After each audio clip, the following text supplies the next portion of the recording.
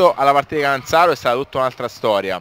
Polissana ci ha provato con i gomiti, a rimbalzo, con tanta forza fisica, specialmente sotto canestro, ma la Gioiese è indubbiamente una spanna superiore. Capitano, vi siete ripresi alla grande questa sera? Ma sì, diciamo di sì, anche se credo che ancora la strada è lunga perché siamo passati da un mese un po' tribolato. Il fatto che comunque Faran sia rientrato per noi è una garanzia e con lui diciamo, cambia un po', mm, cambiano gli spazi in campo perché comunque se c'hai una presenza come Leo sotto canestro apre molti spazi agli esterni e quindi si gioca un po' più eh, con tranquillità e un po' più di scioltezza, soprattutto difensivamente ci dà una grandissima mano. Possiamo aumentare la pressione difensiva perché comunque c'è lui dietro che, che aspetta e, e, aiuta. Quindi io direi di sì, anche se comunque c'è ancora un, molto da fare, da inserire questo nuovo ragazzo James che comunque sa giocare a pallacanestro. Io sono convinto che alla fine potremmo dire la nostra, anche se è più dura di quello che possa sembrare. L'indagine sul settore giovanile parla oggi con Coghi Mermolia, un ragazzo che da Gioia Tauro ha preso la valigia e ha cominciato a girare l'Italia. Sì. Rifaresti questa scelta a posteriori? Sì, sì, assolutamente sì. È una scelta che mi ha arricchito tantissimo, eh, che, mi ha, che, mi ha, praticamente cambiato la vita perché comunque andare via a 16 anni eh, impari tantissime cose. Poi mi ha formato professionalmente sotto l'aspetto tecnico, tattico, mi ha aperto la mente.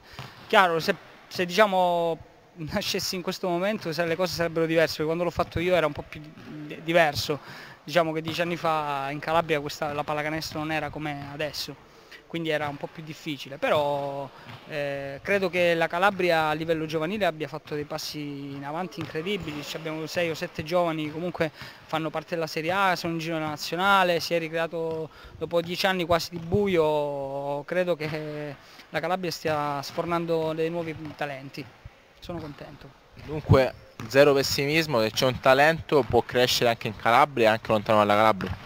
Ma credo di sì, se, se, gente come, non per dire, voglio dire mm, Gianni Benedetto, Gianni Tripodi, gli anni passati hanno fatto un lavoro, la, la nuova Jolly o comunque il lavoro fatto alla Viola Reggio Calabria, eh, allenatori come Massimo Matacci, cioè ci sono gli allenatori nella, in Calabria, anche a Gioia Tauro voglio dire, hanno investito tantissimo negli anni passati a portare allenatori solo per il settore giovanile, quindi se le società si rendono conto che eh, il, i ragazzi hanno bisogno di gente che gli possa dare qualcosa, che ha esperienza e diciamo, mh, sia fatto a livello professionale, quindi preso una persona competente che possa portare avanti 3-4 anni questi giovani, io credo che la Calabria è, è piena di talenti, piena.